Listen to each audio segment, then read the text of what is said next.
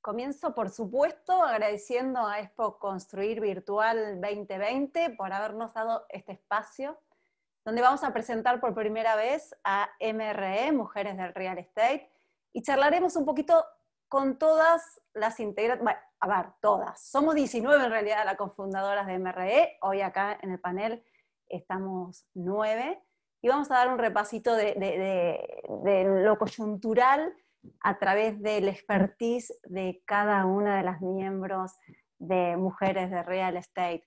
Les voy a hacer una breve introducción de cómo surge, que nos suelen preguntar, así que les voy a contar un poquito. Hace un año y medio aproximadamente tomé la iniciativa de convocar a cada una de estas mujeres que me había cruzado en el mundo laboral en el que compartimos. Eh, algunas eran muy amigas, otras habíamos tenido contacto laboral y otras ni siquiera las conocía, pero que sabían lo que hacían y me encantaba. Eh, les mandé un mensajito de WhatsApp a cada una, convocándolas a unirnos sin saber muy bien para qué, este, pero sí para ir tendiendo redes y por supuesto todas, por supuesto no, en realidad sorprendentemente todas me dijeron eh, que sí, que les encantaba la idea. Lo que dejó en claro que era un espacio que había que cubrir, ¿no? Y nos dimos cuenta en las primeras charlas nomás de que teníamos la misma visión de visibilizar a las mujeres dentro de la presencia de la mujer en este mundo, a tender redes, a generar eh, espacios en las mesas de discusiones, a servir como inspiración a otras mujeres. Todas cubrimos roles directivos en una u otra área de la cadena de, valor del real estate y lo vamos a ir viendo ahora en el transcurso de este interesantísimo panel. Voy a empezar por Sole, Sole Balazán. Me gustaría que cada una, antes de comenzar a hablar, se presentara y diga exactamente a qué se dedica. Y con Sole voy a empezar con una pregunta directa. Sole es una genia de análisis de datos y en esta, en esta pandemia, en estos siete meses, ha hecho mucho análisis. Sole, ¿cuáles fueron los tres números que más te impactaron? Contanos. Bueno, hola Mali, gracias. Eh, bueno, mi nombre es Soledad Barayán, eh, trabajo en Mauri Inmobiliaria, que es empresa familiar, y hace muchos años que vengo atrás de los datos del mercado inmobiliario y de alguna manera aportando valor, este, compartiéndolos con el resto de, la industria. Y mira, la verdad que te puedo hablar de cuatro variables que vengo siguiendo, eh, dos más bien macro, ¿no? Eh, una es la emisión monetaria, que es preocupante y el otro día, a ver, el dato fino que escuché de parte de un periodista financiero es que se están emitiendo 100 mil pesos por minuto. Sí. Eso es un dato. Después el dólar, obviamente para nuestra industria y para mucha gente, es la referencia más importante hoy, ¿no? Y que en, en 10 meses haya pasado de 77 pesos a 195 al valor del viernes, es este, algo bastante preocupante y hay que estar alerta a ese número. Después, datos más micro, eh, ya tocamos el techo de la cantidad de propiedades ofrecidas en Capital Federal. ¿Sí? Más allá del número fino, que pueden ser 130, 120, eh, si uno saca los duplicados, eso es el dato de la oferta y llegamos al techo. ¿sí? Todas las semanas estamos superando esa barrera. Y el contraste es la cantidad de operaciones promedio que se vienen haciendo en la ciudad de Buenos Aires, que no sobrepasan las 1.500 por mes. Entonces, estas son cuatro variables, unas más macro, otras más micro. Eh, la realidad es que no tenemos la posibilidad de poder modificar esas variables nosotros, pero sí lo que podemos hacer este, como inmobiliario, ¿sí? desde mi rol de inmobiliaria, el momento de la evaluación del activo, de la evaluación del inmueble, tener estas variables en el contexto de la tasación y explicárselo al dueño. Eso es lo que yo te diría que resume de alguna manera lo que sí podemos hacer desde el rol de, inmobiliarios hoy. Sole, eh, contanos quién sos, que no nos contaste. Sí, bueno, este, tengo inmobiliaria familiar, trabajo, me incorporé hace más de 20 años, este, después vivía afuera, pero siempre estuve vinculado con la empresa. Y bueno, ahora tengo a mis padres este, encerrados, como todos los que tienen eh, personas de riesgo, y con mi hermana estamos este, absorbiendo mucho más trabajo, ¿no? En este momento. Sole, y decime eh, un, número, un número que hayas sacado de tus análisis. No sé, el que quieras. Ay, y bueno, eh, si tengo que elegir de, las, de, los cuatro que te dije recién, te diría el, el, tema de la oferta, ¿no? Que fue algo que no se tenía mucho en la cabeza y ahora todos, todos lo que hacen es mirar eso, porque es un parámetro que a vos te dice qué competencia tiene el producto que vos vas a llevar al mercado.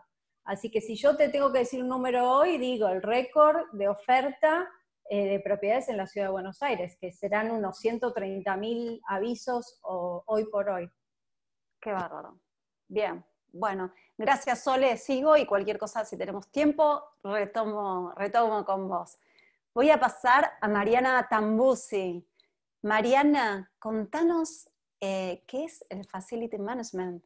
¿eh? que es tan amplio, ¿no? Eh, tiene que ver con, tantos temas que, sinceramente yo no lo tengo claro. Contanos desde, desde dónde trabajas vos este, e, esta, esta actividad en el real estate.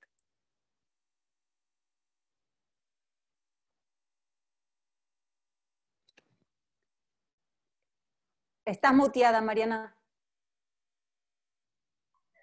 tanto preverlo el muteo y me muteé para siempre. bueno, empiezo de nuevo. Gracias Mali, gracias a, todas, buen día. Eh, yo soy Mariana Tambusi, soy arquitecta, hace 30 años cumplidos, hace ahora en marzo, eh, y toda mi vida como arquitecta me dediqué a gestión de activos, empezando por Project Management y Facility Management para corporaciones. Y hoy hace unos años que tengo mi propia consultora con Marina Kurban, mi socia, y seguimos haciendo eso, gestión de activos, de los cuales Facilities es una de las partes eh, más amplias, como vos bien dijiste, y más importantes, porque en sí Facilities eh, cubre también Real Estate y cubre también Project Management. Es una de las 11 incumbencias que tiene Facilities. Y como además hay docente, cuando lo explico, que es Facilities, eh, le agrego una disciplina más que es el cuidado del usuario, y la experiencia del usuario. Hoy por hoy hace mucho, mucho sentido eh, de lo que es Facilities, principalmente tres de las patas que tiene, que es finanzas, para saber cuánto nos cuesta a nosotros ser el dueño de un edificio o ser el inquilino. Ese número, que yo le digo que es el número de oro, es súper importante porque más allá de que los primeros tiempos de la vida útil de un edificio se utilizan para, construirlo, para diseñarlo, el 80% de la vida útil es operarlo. Cuanto más accesible sea ese costo, cuanto más lo podamos prever y cuanto más lo podamos cuidar, más larga va a ser la vida útil del edificio. Y además, otra de las patas importantes de Facility son las personas, las personas que viven adentro. Con lo cual, en estos momentos de crisis, que también manejo de crisis es una de las disciplinas del Project, eh, hace también mucho sentido porque nos dedicamos al, cuidado de la salud y de la limpieza y de la ventilación. ¿Esto siempre o, le dieron más importancia a partir de la pandemia?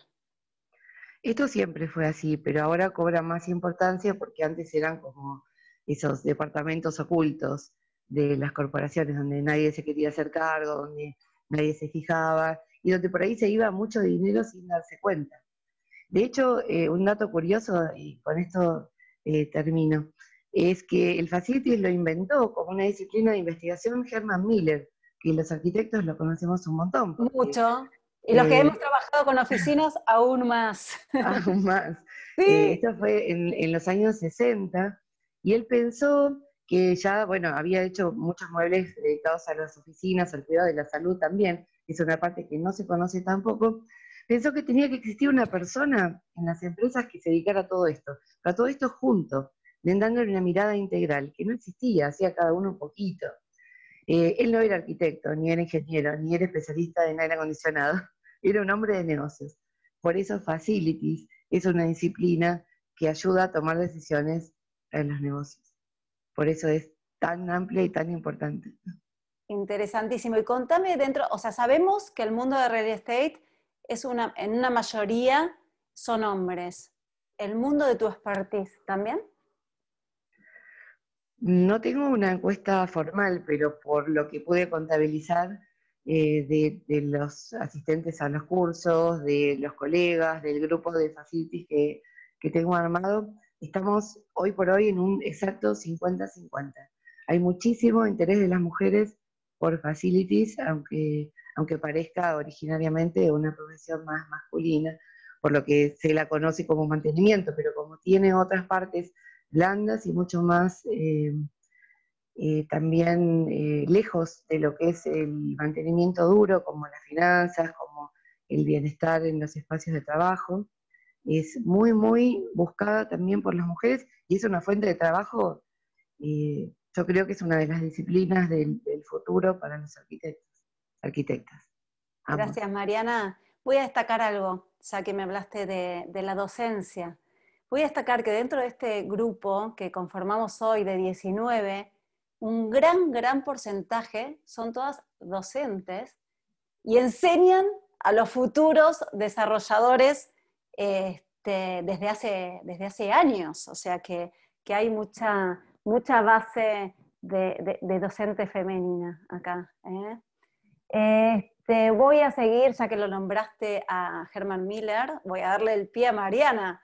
Mariana Estange, especialista en oficinas. Mariana, charlemos del tema que, que todos queremos saber. El home office, ¿llegó para quedarse? ¿Mito o realidad, Mariana? Contanos vos que estás en esta.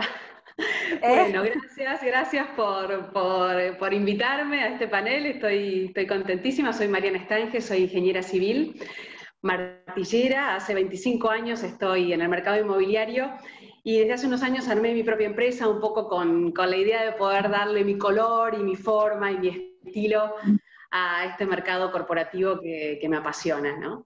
Eh, me encanta que me plantees la pregunta mito o realidad, eh, porque estoy escuchando, leyendo, estamos, eh, mucho sobre home office, y esto de home office llegó para quedarse, se asimila mucho a, el home office va a reemplazar a la oficina convencional. Em, a ver, nosotros como, empresa dedicada a, asesorar a otras empresas en su relocalización de espacios o a propietarios y desarrolladores a comerciar, alquilar o vender sus espacios de trabajo, estamos permanentemente estudiando el comportamiento eh, de las personas, porque en definitiva son las personas con, su forma de ser, con su forma de estar, las que van a ocupar el lugar del espacio de trabajo que nosotros comercializamos, que es, nuestra materia prima.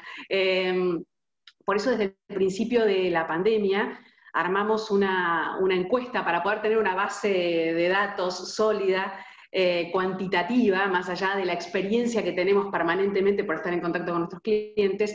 Eh, y en esa, en esa base que tomamos eh, fue un grupo de empresas de, muy, muy heterogénea, muy ecléctica, con, de distintos rubros, de distintos tamaños, distintas localizaciones, Ciudad de Buenos Aires y Gran Buenos Aires, que es el área de acción donde, donde operamos. Y, les hicimos una serie de preguntas que fuimos testeando a lo largo de estos, estos siete meses. Eh, y una de las preguntas era esta, ¿no? Eh, preferencia, tenés una preferencia de home office por sobre la oficina convencional. Y es súper interesante ver cómo fue mutando a lo largo del tiempo la respuesta, porque la primera encuesta, que fue a mediados de abril, nos decía que un 70% de las empresas preferían el home office, y eso era, fue como un, chan. Y la última, que fue, tiene 20 días aproximadamente, ese, ese ratio bajó a 25%. ¿Qué pasa? Ah, bueno. Mucho. Si bien, exacto. ¿Qué, pasó en el medio? A ver, por un lado, súper interesante. El home office es una manera de, trabajo, una modalidad de trabajo que eh, Argentina la adopta allá por los años 2000, pero que era utilizada más como, como, un beneficio no remunerativo, más como un premio para ciertos colaboradores, algún día a la semana, algunos días al mes. Lo que esta pandemia hizo es que todas las empresas, no importa el rubro, no importa el tamaño, se vieran obligadas a trabajar por home office. Había eh, empresas que estaban negadas a esta modalidad, porque decían, no, que por nuestra manera, que por nuestro modo, que el contacto, que el cliente, que la forma. Que el control. el control. Algunas empresas tuvieron que mudar no tenían, eh, sus, colaboradores no tenían eh, laptops, ¿no? Tenían la computadora de escritorio, entonces tuvieron que armar con flete, ir, buscar la computadora y llevársela a la casa, la CPU y qué sé cosas que estamos ya como desacostumbrados. Entonces, por un lado tenemos esto, ¿no? Las empresas dijeron, che, es posible trabajar eh, por home office y está bueno, ¿no? y todos podemos. Por otro lado, hemos comprobado, y esto a mí me encanta un poco por, mi forma de, ser y de trabajar, hemos comprobado que el contacto entre nosotros es valioso, que una reunión presencial es mucho más productiva, creativa y eficiente que una reunión por Zoom. Entonces lo que está pasando es que el home office no va a reemplazar, pero sí se convierte en un complemento de la oficina convencional.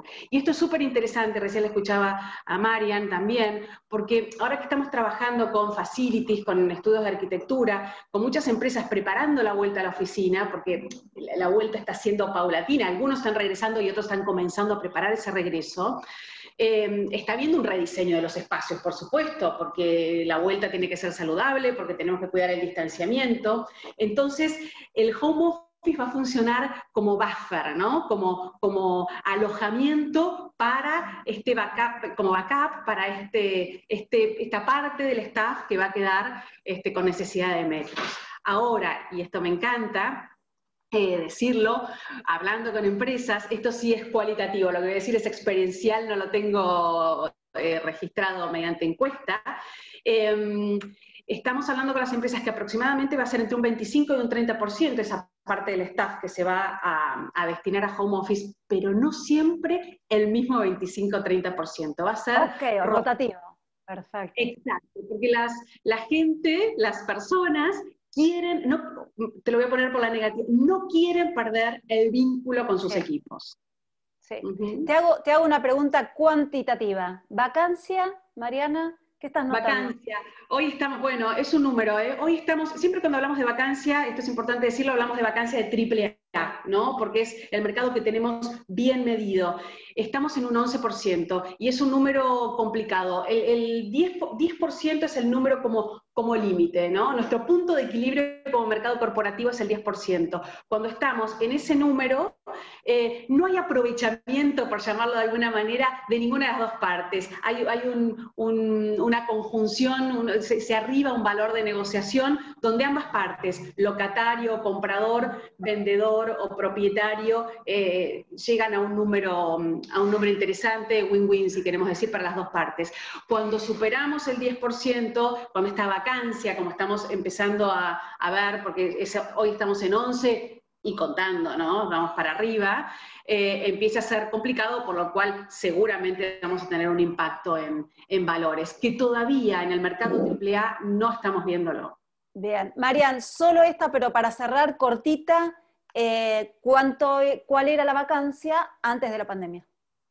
Mira, empezamos la, la pandemia con un 6, 6,5% de vacancia. Ok, o sea que se duplicó. Sí. Bueno, vamos a pasar ahora a María Laura Calle. María Laura, contanos a qué te dedicas y con vos quiero charlar sobre un tema súper importante, súper importante que lo estamos esperando, que no sabemos si va a venir, si no va a venir, que es el financiamiento para desarrollos inmobiliarios. ¿Cómo ves la situación del financiamiento? Eh, sobre todo eh, en, este momento donde muchos van a estar complicados a la hora de retomar. Exactamente, gracias Mali. Eh, ¿Qué tal todas? Eh, bueno, mi nombre es María Laura Calle, soy arquitecta, especialista en desarrollo inmobiliario. Bueno, Mali mencionó hoy el tema de la docencia. Soy docente también hace más de 12 años en la maestría de desarrollo inmobiliario de la Universidad de Belgrano, de, de donde soy egresada precisamente. Y, mm, bueno, em, en el, campo laboral me desempeño en, una institución financiera eh, en la banca pública, en el Banco Provincia, y trabajé más de 20 años en el Banco Santander. Eh, la pregunta que me haces, Mali, es una pregunta difícil en este contexto, en este momento, em, dado que bueno, las condiciones para el crédito dependen de, una, de, la conformación de la macro que bueno, todavía no está muy estabilizada. Eh, si hablamos de, crédito para el desarrollo, como vos muy bien eh, mencionaste, eh, en los contextos de crisis siempre el fondeo para un desarrollo inmobiliario está vinculado con el inversor, ¿no? Siempre el modelo de negocios es esta figura que se dio a partir de, después de la última crisis del 2001, del fideicomiso al costo, la aspiradora de pesos que le llamaron en su momento. Y, bueno, hoy también la situación de las ventas está, complicada, veíamos un poco los números que, mencionaba Sole, y entonces yo creo que Em, y preparándonos, digamos, para cuando venga la expansión del crédito hipotecario, hay que empezar a construir la oferta. Y la construcción de la oferta está de la mano de la obra privada.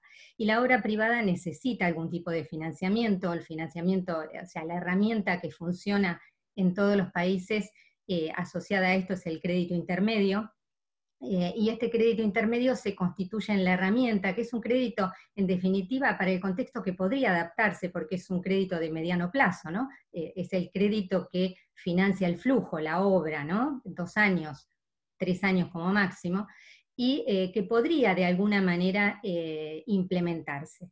en esta última semana se empezó a hablar nuevamente de la reactivación de las líneas de la inversión productiva para las pymes. Son líneas que básicamente tienen eh, una tasa preferencial y están relacionadas con, eh, con financiar el capital de trabajo.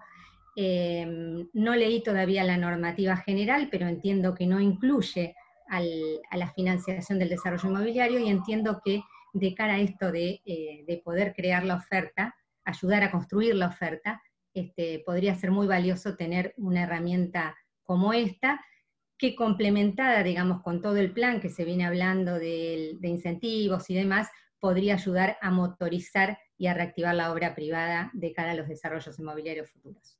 O sea, te veo optimista. Vos vivís diseñando porque te dedicas a eso, a encontrar el producto, a encontrar la herramienta específicamente para el desarrollador. Hace muchos años que venís estudiando, eh, me acuerdo 2017, ¿no? con, toda la esperanza que había en el sector y todo murió, la verdad, lamentablemente, y ahora vos ves que algo puede llegar a, surgir, entonces. Siempre hay que ser positivo, o sea, el futuro no está hecho, el futuro se construye todos los días, y desde la, desde la década del 90 tenemos muchas herramientas, a partir de la ley 24441 de financiamiento de la vivienda, que posicionaron el crédito de largo plazo el, digamos, el gran impedimento hoy es el contexto, pero las herramientas están. En 2015 se sumaron un montón de otras herramientas eh, a través de un montón de comunicaciones del Banco Central de la República Argentina, entonces entiendo que tenemos una serie de normativas y bueno, y hay, hay que andar el camino. Em, creo que por tratarse de créditos de mediano plazo podrían tener una oportunidad, ¿no? Eh, vos sabés que, bueno, todo lo que es crédito hipotecario eh, está más de la mano un poco del lanzamiento de las políticas públicas.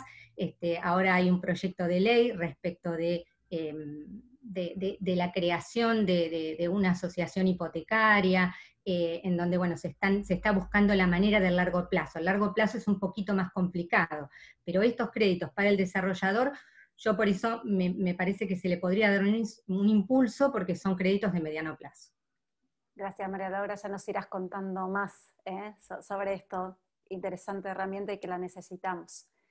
Voy a pasar a Miriam Heredia. Miriam, voy a ir con vos también con una pregunta concisa, cortita y al pie, y no por eso este, menos importante, al contrario. Es, es, un tema este, este, bueno, súper, súper importante y complicado. Háblame del acceso a la vivienda, Miriam.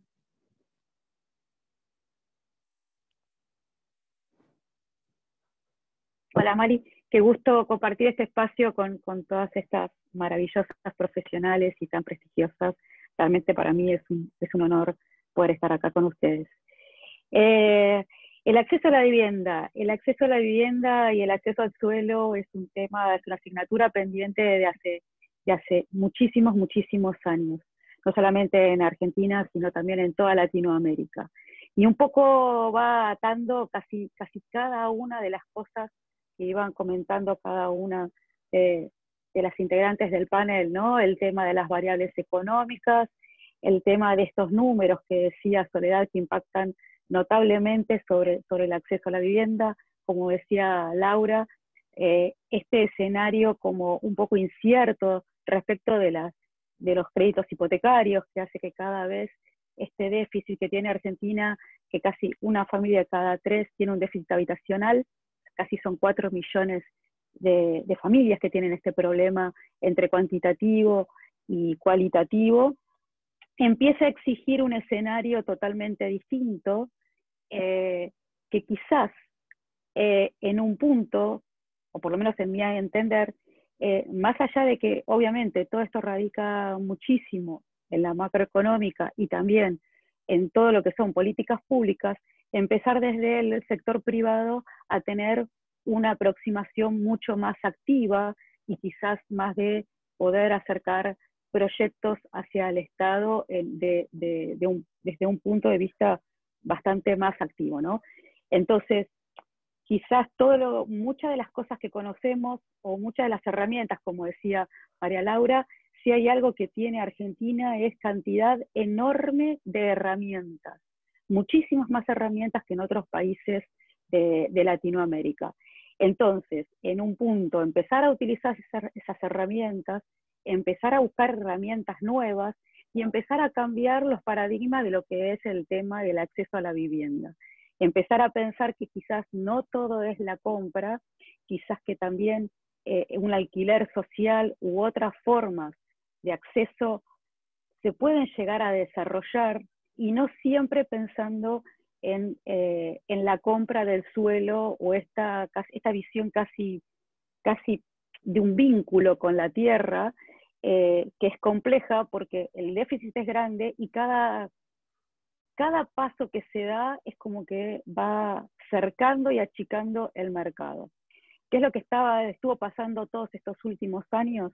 Más allá de que hubieron eh, políticas con una cierta visión de poder abrir el acceso al suelo, lo que generó de alguna manera, más allá de que sí se hicieron eh, emprendimientos, por el otro lado, indefectiblemente fue haciendo que el suelo subiera. Entonces, hay que ser muy cuidadoso en este tema porque cada, el mercado es, eh, permanentemente va respondiendo a los estímulos, ¿no? Entonces, si se empieza a, a, achicar la oferta o se, o se, agranda la oferta o, o, la demanda, que es lo que fue pasando en estos últimos años, que hubo una mayor demanda de suelo por una apertura de algunas líneas de emprendimientos, por el otro lado generó que quedara por fuera del mercado toda una cantidad de gente que, sumado a la macroeconómica, que era toda gente que quizás en algún momento con algún procrear tenía la posibilidad de poder acceder a un crédito hipotecario, la macroeconómica automáticamente lo empezó a correr de lado de los requisitos para poder acceder a estas, a estas herramientas hipotecarias. Entonces quizás en ese momento de empezar a pensar otras herramientas de acceso a la vivienda para que realmente se pueda eh, dar algo de respuesta al déficit que tenemos eh, en Argentina, que es bastante importante. ¿no? Miriam, ¿tu opinión sobre el procrear actual? El procrear actual todavía, todavía está, está en sus inicios, todavía lo están pensando. Eh, la idea del procrear actual es generar un banco de tierras, crear un observatorio de tierras y, trabajar con algunos predios para desarrollos que todavía me genera dudas sobre si esto, de qué manera va a impactar en el mercado y de qué manera va a impactar en el costo del suelo. Realmente tengo, tengo, dudas bastante importantes. Eh, por el otro lado, hay decisiones que son bastante buenas, como por ejemplo hacer la promoción del completamiento urbano y tratar de trabajar en suelo urbano o área complementaria. Eso, puede eso es una muy buena decisión, el, el tema de empezar a densificar y no proliferar, como en algún momento pasó en Argentina, de proliferar con desarrollos por fuera del, casco urbano, generando barrios desvinculados que a la larga vuelven a ingresar toda esa gente a un déficit o cualitativo o cuantitativo porque no están resueltas esas, esas variables para que esos eh, barrios desvinculados se puedan ni mantener y sobre todo que no se pueda hacer un bien eh, que se revalorice en sí mismo. O sea, cada una de nosotras cuando compra un bien, lo que pretende que en el tiempo ese, ese bien aumente de valor, ¿no? Bueno, generalmente con estos emprendimientos, estos son de costos bastante altos, cuando accede la familia esa, esa vivienda muchas, muchas veces baja su valor y se va depreciando con el tiempo. Entonces, indefectiblemente, ese bien eh, no conforma un patrimonio familiar que permita que el resto de la familia se pueda seguir desarrollando eh, en, buenas condiciones de habitabilidad, ¿no? O sea, es complejo. Es complejo. Terminaste claramente con la palabra justa. Es muy complejo. Sobre todo, ¿no? Con las condiciones macro que lamentablemente estamos atravesando. Voy a pasar a Flor. quiero, agradecer una cosa, eh, agregar una cosa. Es complejo en la medida que no, cambie, no empecemos a cambiar de mentalidad respecto de las herramientas y del suelo y de las formas de acceso a la vivienda. O sea, el mundo va hacia otros paradigmas totalmente distintos. Entonces, eh, una de las cosas eh, que me olvidé decir, yo también soy académica y una de las cosas fundamentales que estamos tratando de, inculcar a los chicos es que quizás todo lo aprendido es una data, pero que ellos tienen que generar, eh, sin lugar a dudas, herramientas absolutamente nuevas e innovadoras. Sí, va por ahí, ¿no? Claramente por la innovación. Voy a pasar a Florencia Miconi. Flor, Flor tiene, tiene un cargo. Bien, Flor, bien. No te voy a preguntar sobre, sobre cómo están las cosas en Mar del Plata, ya estuviste en varios paneles, ya habrás contado. Voy a ir directamente al rol de liderazgo en una empresa de hombres, claramente, ¿no? Una empresa constructora, desarrolladora y más, la más importante de Mar del Plata. Contanos cómo es tu rol. Bueno, Mali, muchas gracias. Primero que nada, un segundito, quiero agradecer a Expo Construir que haya invitado a MRE a presentarnos en la sociedad eh, quiero decir que estoy muy contenta con este grupo de mujeres en Real Estate. La verdad que Mali fue una visionaria, una gran armadora de equipo que nos llamó a todas. Y bueno, somos 19 cofundadoras y me gustaría nombrar brevemente a las 10 compañeras que hoy no nos pudieron acompañar. Me encanta, claro. Eh, tenemos a Jackie Adanero, Ana Simeone, Lau Nosito, Sofía Riva, Cintia Edinburgh, Ana Estudillo, Magda Day, Gaby Roy, Mariela Llenone y Vale del Puerto. Así que bueno, por lo menos las nombramos a las 10 que nos faltaban. Me encanta, Flor. Para que, sepan, somos las 19 cofundadoras y la idea va a ser incorporar nuevas socias a la brevedad. Estamos trabajando sobre eso. Bueno, después en relación al lugar, creo que uno, bueno, eh, los lugares creo que, bueno, un poco se eligen, un poco nos tocan, y la verdad que como mujer me tocó desde chica desempeñarme en un ambiente de hombre, yo soy abogada en realidad, pero desde que me recibí desde el año 2008 me incorporé a la empresa familiar IMASA, en realidad vengo a una familia de constructores, eh, pero lo que es la empresa IMASA la fundó mi papá en el año 1990, junto con, con mi mamá, no siempre dos grandes compañeros, eh, y bueno, ingresé a trabajar acá, por supuesto que el ambiente, nosotros somos constructor y desarrolladora, si bien en lo que hace al proyecto hay muchas mujeres, en lo que hace a la construcción, la verdad que predominan los hombres, ni que hablar en el equipo de los muchachos dentro de la obra. Eh, pero bueno, la verdad que hemos ido ocupando el lugar, yo creo que justamente para eso también surge MRE, ¿no? Para visibilizar cómo las mujeres podemos ocupar este, lugares, ¿no? Quizá a veces nos puede costar un poquito más o no, pero bueno, eh, acá está la prueba con varias de nosotras de que se puede. Y bueno, contenta de ocupar este lugar, ¿no? La verdad que también integro varias instituciones, creo que es la manera que tenemos las que estamos en el sector privado de hacer política.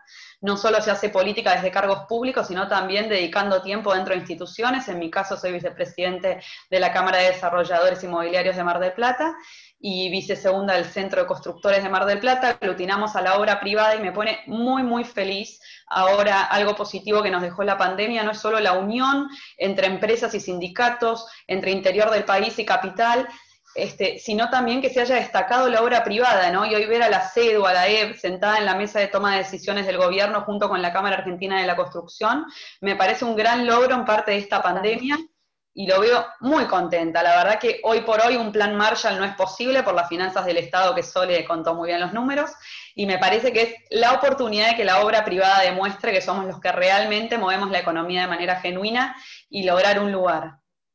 Bien, Flor, me encantó, me encantó tu mensaje, gracias por la parte que me toca, por la CEDU. es la verdad. Este, y voy a pasar ahora a Claudia Faena. Claudia se dedica a diseñar, Claudia es creativa. Contanos, Claudia, ¿cómo influye el diseño en el precio final de un desarrollo? Vos tenés intervención en muchos desarrollos importantísimos. Eh, contanos, ¿vale la pena? A veces decís, wow, qué luxury, qué bello esto. ¿Vale la pena agregarle ese valor? Contanos.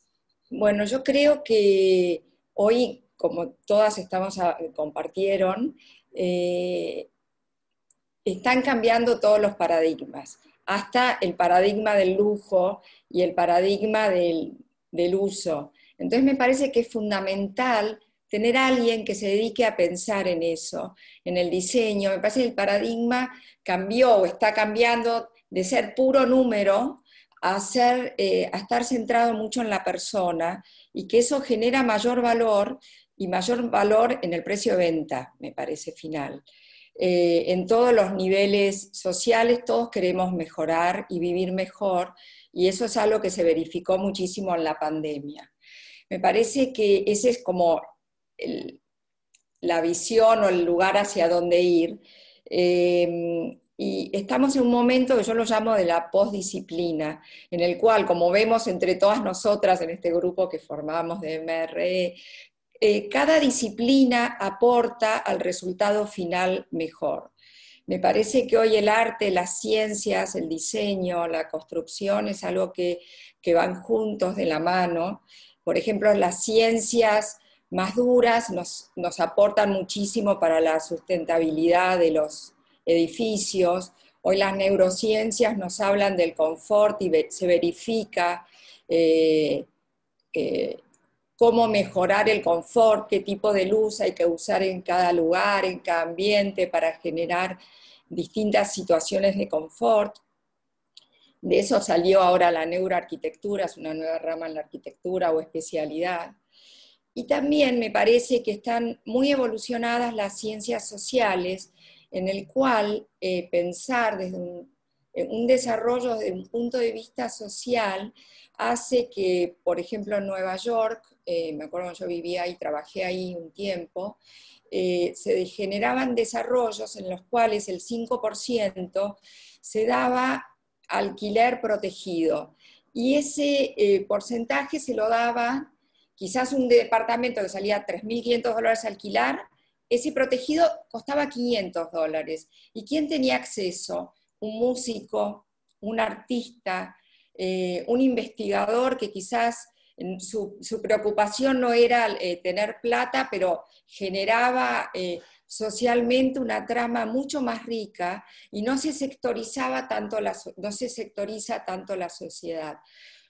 Entonces me parece que a través del diseño, que quizás si lo tomamos como algo meramente estético, parece un poco superficial, pero si le damos un contenido pragmático, social, hasta científico. Me parece que, que, tiene una profundidad y un impacto en el resultado final, tanto estético como económico, enorme. Eh, me parece que, que, por eso es como que cada vez son convocados más los diseñadores a participar de los desarrollos y hasta se genera una marca, no sé, todo, fluye en todo. Contame algo, Clau. Em, ¿Algún proyecto que hayas tenido que modificar o no, o tal vez no, los que tenías entre manos antes de la pandemia, en pandemia, ¿los modificaste? Mira, es muy increíble eh, porque mis clientes, que estoy haciendo desarrollo de oficinas eh, o de Zooms de edificios, eh, todos me dijeron, esperemos que como están en obra, eh, que termine el desarrollo, a ver si ya se consigue la vacuna, a cómo espaciar, porque claro, se generan espacios mucho más menos utilizables o menos rentables, ¿no? Al tener que espaciar los lugares. Entonces, por ahora eh, no los tuve que cambiar, pero sí me pasó, por ejemplo, de cambiar conceptualmente, por ejemplo, en Nueva York, yo participé de un proyecto de desarrollo de eh, hospitalidad, de hotelería, eh, basado en la ecología, ¿no? Entonces, esto era toda gente de deportes, eh, que quizás de caza, de pesca, pero basado en cuidar los lugares de caza y de pesca. Eh, entonces tenían una forma de mostrarlo, yo en ese momento era directora creativa, de mostrarlo eh, muy enfocado al hombre. Y al cambiar la estética, enfocarla más a la mujer, que es la que decide dónde va a pasar las vacaciones con sus hijos y su marido, eh, bueno, y salieron a buscar el dinero para fundar la empresa, era una empresa que recién empezaba, ¿no? y al enfocarlo de otra manera, cambiarle la estética y la forma de comunicarlo, eh, una empresa que no estaba logrando fundarse consiguió 180 millones de dólares. O sea que me parece que el concepto, eh, eh, conseguir a quién vamos dirigidos y la estética que generamos puede hacer que un proyecto exista o no llegue a, a, conocer, a concretarse, ¿no? Me parece que es Totalmente, opino exactamente igual a vos. Contá quién es Claudia Faena, que no contaste. Ah, bueno, yo soy arquitecta, eh, eh, arquitecta, diseñadora, proyectista, eh, y tengo mi propio estudio y desarrollo, participo con, armo equipos, o soy parte de los equipos de los desarrolladores en la parte, depende de cómo me contacten, interiorismo o el concepto del edificio. Muchas veces me hacen participo del desarrollo directamente o cambio la fachada, la imagen, el nombre del emprendimiento, todo esto que te vengo contando que hace que el emprendimiento sea más rentable al final del día y que vaya enfocado, eh, tenga un objetivo, porque como decía Séneca, eh, si no sabemos a qué puerto vamos, ningún viento nos viene bien. Entonces me parece que es re importante eso de tener, saber hacia dónde vamos y quién es el cliente. Muy bien, vamos para, el, puerto elegido. Exacto. Ale, voy a terminar con vos, Ale Covelo, y también te voy a hacer una pregunta concreta, muy concreta. Demanda insatisfecha post-COVID. Ale, contanos, explayate. Bueno, primero quiero agradecerte, Mali, por, por, porque formaste este grupo que la verdad cada día me siento más a gusto y donde todos los días aprendemos algo y, hay mucha interacción en una onda muy, muy especial y con mucho profesionalismo, cosa que realmente agradezco y, valoro mucho. Así que genial tu, idea y, geniales las chicas y ojalá todas las que se incorporen también eh, entren en esta misma sintonía. Mira, acá hay algo que... voy, a, voy a agregar algo que ya que, que me estás agradeciendo, este, lo voy a hacer, ya lo he comentado, pero voy a aprovechar este panel para hacerlo. Eh, ya dije que a cada una la fui convocando por algo en, especial. Y vos, es, ese, hace un año y medio cuando convoqué, yo estaba en un posoperatorio muy complicado. Eh, me desmayé saliendo de un programa eh, del sector, especialmente, fue exactamente para el Día de la Mujer, eh, fui a parar a terapia intensiva, bueno, todo mal, todo muy grave, y la primera persona que me asistió con cariño, amor, sin conocerme, fuiste vos. Así que lo hago. Me emocionas mucho, Mali, cuando me lo decís, porque cuando siempre digo, cuando caíste como un pajarito, me, no pude dejar de pensar en vos desde ese momento, porque estaba muy preocupada. Y bueno, no, no me quiero emocionar, aunque las mujeres siempre nos emocionamos un poquito más, o lo demostramos un poco más. Así que bueno, Vamos a la demanda insatisfecha, Ale. Vamos a hacer un aniversario. Bueno, quiero contarles un poquito en, relación a todo lo que venían hilando, tiene que ver esto de la demanda insatisfecha. Eh, creo que, como bien dijeron eh, tanto Claudia como, bueno, Sole, todas las chicas, estamos hablando básicamente de cambios de paradigmas y creo que hoy hay algo muy activo que se está eh, generando y es en este cambio de paradigma qué se sintió en la casa donde estábamos pasando la pandemia, qué pasó con esta gente que tomó decisiones o valoró ciertos lugares más que otros. Y bueno, nosotros hemos hecho un pequeño estudio dentro de nuestra organización que trabaja no solo en Buenos Aires, sino también en Uruguay y en Miami, y el 65% de las personas que pasaron la pandemia tomaron decisiones de cambio dentro de sus propiedades. Es muy alta la demanda insatisfecha.